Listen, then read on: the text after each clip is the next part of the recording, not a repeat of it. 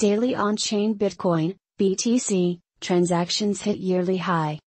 Despite the prolonged bear market of 2018, the year has seen a steady increase in the number of confirmed Bitcoin, BTC, transactions.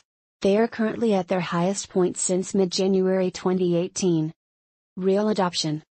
Regardless of the sharp decline in Bitcoin, BTC, price in 2018, the cryptocurrency has seen a steady increase in the number of transactions throughout the entire year.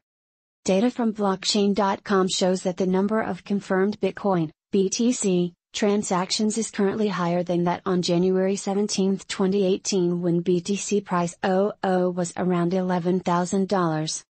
It's also worth noting that the proportion of Bitcoin, BTC, payments made using the Segregated Witness, SegWit, protocol has also increased continuously throughout 2018.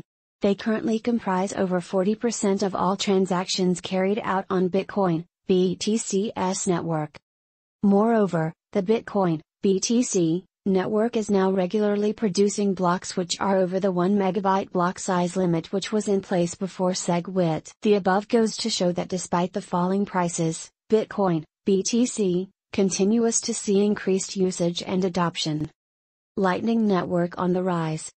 2018 has also seen Bitcoin, BTC, pass other significant milestones throughout the year. The Lightning Network scaling solution has been increasing its capacity to reach more than 5,200 nodes and over 19,000 channels.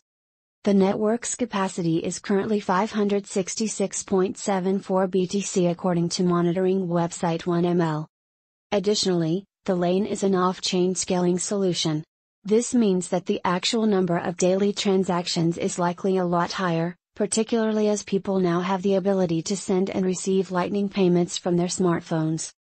Bitcoin's lane promises to not only handle millions of transactions per second, compared to Visa's 45,000 TPS, but also enables sending fractions of a penny, and even a fraction of a Satoshi, something that's not possible on chain, to anyone in the world.